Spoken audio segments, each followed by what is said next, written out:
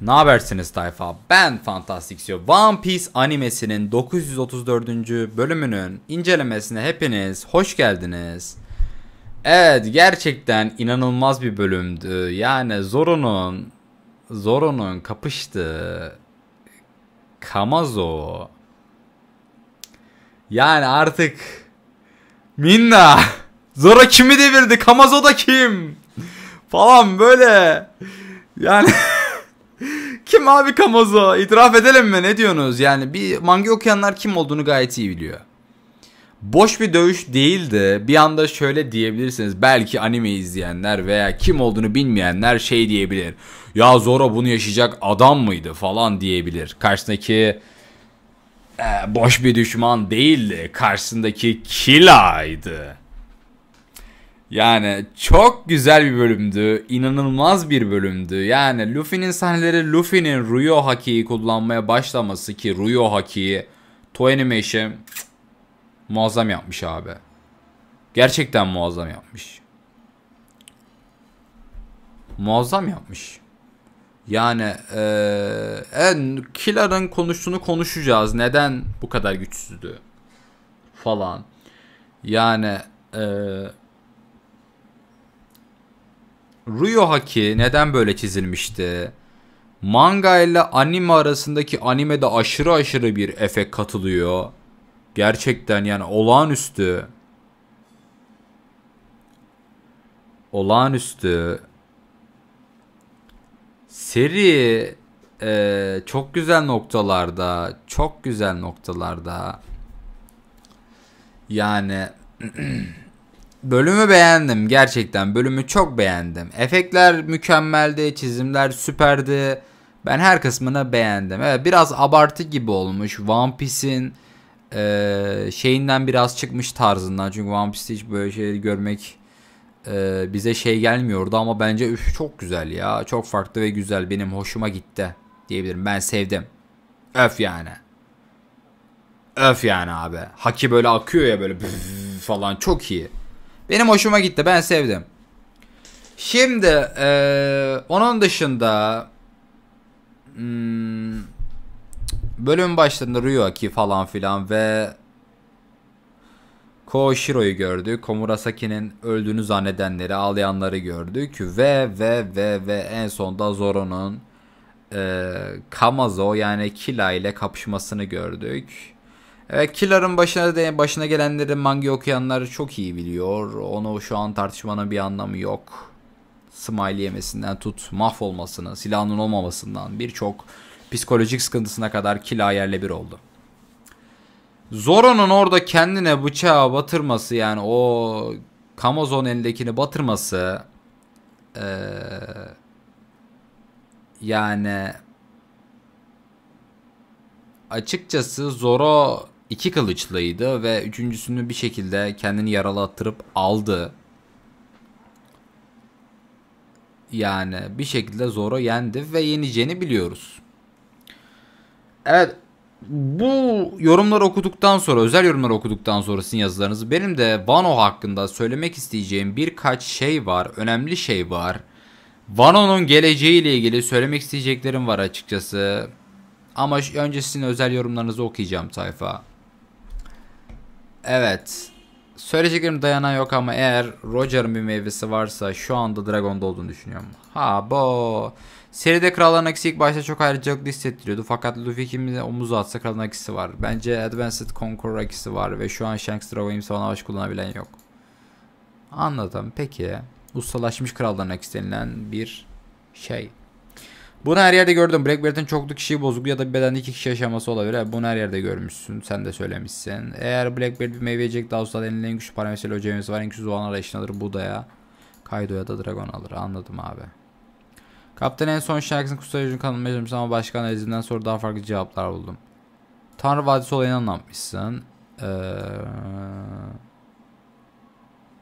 Demişsin Garp Roger ile işbirliği yapmaya kararmış ve Tanrı Vadisi etrafında soylular ve köleler bulunuyordu. Garp ile Roger bunları Zibek'ten korumak için birlik olmuşlardı. Bence kutsal ejderlerin çoğunu kaçtı ama aylardan biri çocuğunu geride bıraktı ve bu Shanks'tı.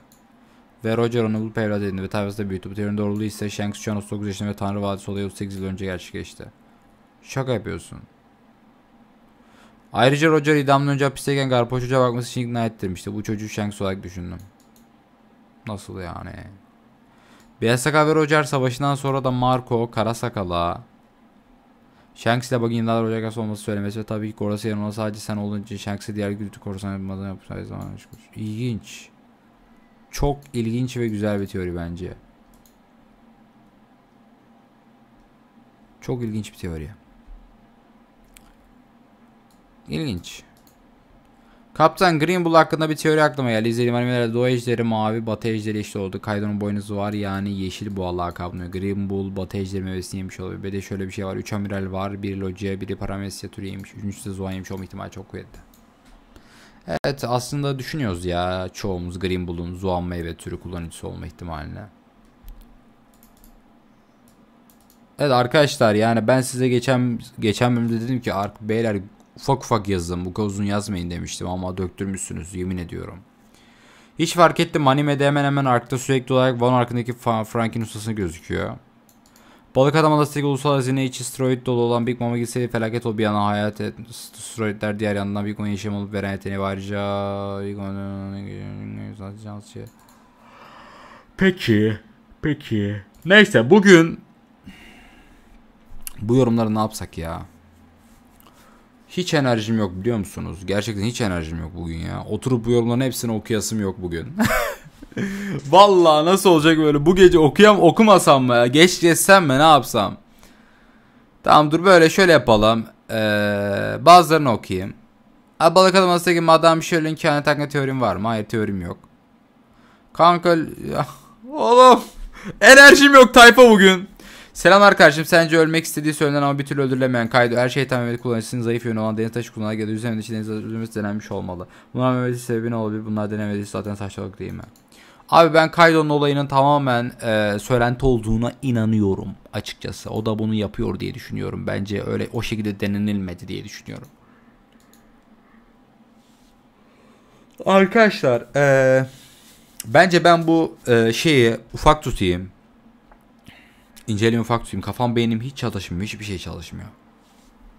Şimdi benim bu özel yorumları haftaya saklayacağım. Haftaya okuyacağım bunları bir kereliğe mahsus haftaya atlamak istiyorum. Çünkü kafam hiç basmıyor şu anda. Yorgunluktan dolayı olsa gerek. Evet Vano arka ile ilgili söylemek istediğim birkaç şey var demiştim ve bunu e, şimdi söylemek istiyorum. Önümüzde bir Kaido var. E, manga dolanlar biliyor. Önümüzde bir Big Mom var.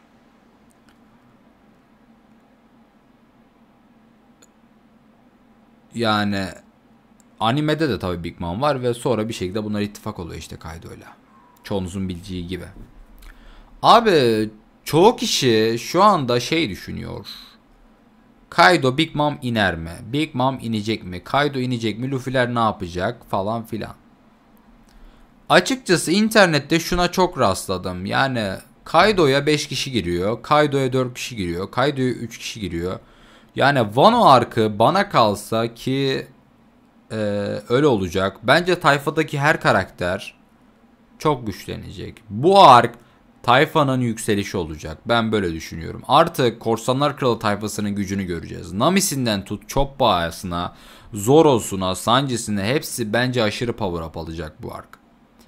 Yani o da Sensei diyecek ki durdu durdu durdu ve 2 yıllık time skip'ten sonra evet Luffy Luffy oldu diyecek abi. Luffy Kaido'ya kafa tutacak. Luffy Kaido'yu bence indirecek abi. Ben öyle düşünüyorum açıkçası. Luffy 1'e 1'de Kaido'yu indirecektir. One Piece'te savaşlar hiçbir zaman şu şekilde olmadı. 5 vs 1 falan.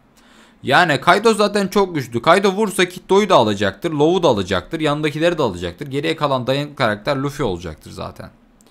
Ben birebir de Luffy'nin Kaido'yu alacağını düşünüyorum. Usopp da power up alacak. Franky de power up alacak. Ve bence hepsi ön plana çıkacak seride. Ben öyle düşünüyorum. Yani bu arktan sonra tayfaya evet Korsan Kralı'nın tayfası diyebileceğiz diye inanıyorum ben. Çünkü çok önemli bir ark. Sanji suite'inin hakkını verecek, kıyafetinin hakkını verecek, power up alacak, Nami ayrı bir power up olacak. Robin'i, öbürü, Brookus'u hepsi bence power up alacak. Ben böyle düşünüyorum tayfa. Bence bu ark bizim tayfadakiler için çok önemli. Ben böyle düşünüyorum. Ben böyle düşünüyorum. Ben böyle düşünüyorum. Luffy Kaido'yu yenileceğini hiç zannetmiyorum. Hiç zannetmiyorum. Ve bana kalsa Yamato tayfaya katılacak gibi. Ben öyle hissediyorum. Yamato'nun tayfaya katılacağını düşünüyorum açıkçası. Ben böyle düşünüyorum. Yani bilmiyorum biraz biraz Kaido gidici olduğunu düşünüyorum ben. Yani ben öyle düşünüyorum. Kaido bence gitti abi. Big Mom'u da bir şekilde yiyecekler ve artık tüm dünya şey diyecek. Evet Luffy korsan kral olmaya aday olan kişi. Olayı çıkacak ortada. Çünkü Luffy çok iddialı. Ben Luffy'yi hiç hiç bu kadar ciddi görmemiştim. Ryu Haki kasıyor ve Kaido indireceğine çok inançlı. Kaido yenilecek. Kaido yenilecek ve Luffy kazanacak abi. Ben böyle düşünüyorum. Yani bu aralar kafama takıldı söylemek istedim. Yamato gereksiz olur muydu bilmiyorum da yani Oden gibi birinin Raftel'e gitmesi Oden yerine çok da böyle mantıksız olmazdı. Yamato da komik bir karakter. Tam bir tayfalık ya. Olabilir yani. Luffy bebeği Admiral Kaido'yu öldürecek Kaido'ya. Ya bilmiyorum açıkçası ben Luffy inanıyorum. Kaido'yu götürecektir diye düşünüyorum birebir de. Sonuçta ana karakter Monkey Luffy ve bu adam korsan kralı olacak. Nereye kadar bu adamı ezdirecek ki o da sensei? Bir süreden sonra Luffy'de patlama yapması gerekiyor ki o patlama bu art diye düşünüyorum ben. Silahlanmak ki de ustalaşmak abi. Her neyse bugünkü e, anime videosunu kısa tutuyorum sayfa. Çünkü gerçekten çok yorgunum ve inanılmaz halsizim. Sizleri seviyorum. Haftaya görüşmek üzere. Bakıyorum sizin yorumlarınız nasıl bununla ilgili. Yani ne düşünüyorsunuz Luffy'nin gücüyle ilgili. Kaido veya Big Mom'un devrilip devrilmemesiyle alakalı. Yorum atmayı unutmayın. Hoşçakalın minna.